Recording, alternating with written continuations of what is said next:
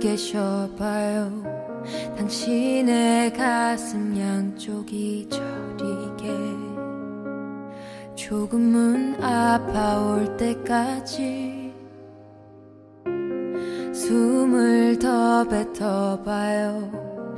당신의 안에 남은 게 없다고 느껴질 때까지 숨이 벅차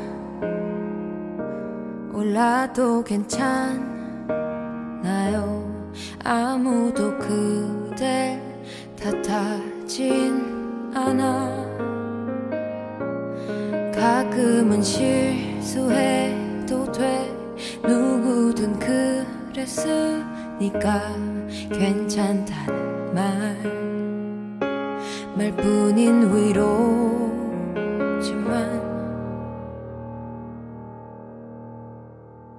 누군가의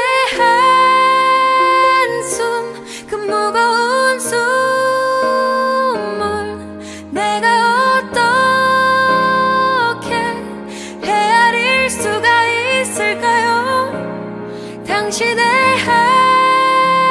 한숨 그 깊이일 순 없겠지만 괜찮아요. 내가